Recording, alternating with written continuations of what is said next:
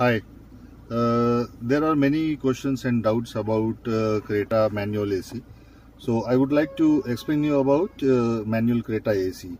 Actually many questions they have always asked that AC whenever we want to off switch off it will never switch off the AC.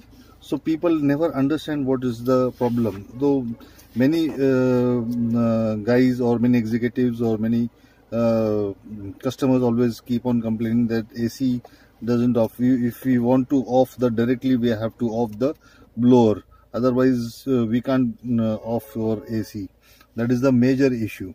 So uh, one thing it's a very simple uh, method of uh, giving uh, Creta AC is like we have to go for an higher side little bit and then it will switch off your AC position. And it is the benefit is that whenever if you doesn't want a cooling or it's a cooling is more so uh, the AC will stop.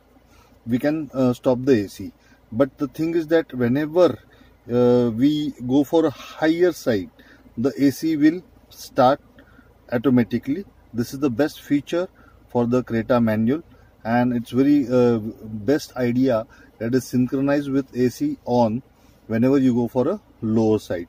Also it gives a fuel consumption how it will give consumption.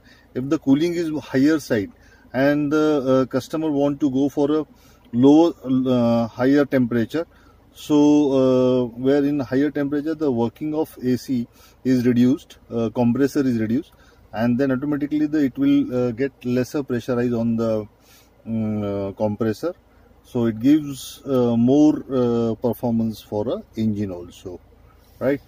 So you can understand this uh, AC uh, off and on position where you can uh, utilize like this. And you can see once more time when I'm going for lower the temperature so AC is getting on. Yeah? Thank you